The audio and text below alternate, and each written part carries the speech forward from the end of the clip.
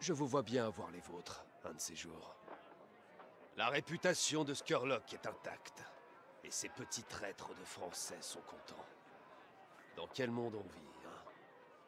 Peu importe qu'on soit pirate ou édile, on n'hésite pas à poignarder dans le dos pour une parcelle de gloire ou d'argent. Mais ça a été du beau travail. Le patron se sent mieux et il cherche déjà à frapper plus loin sur le territoire de la compagnie.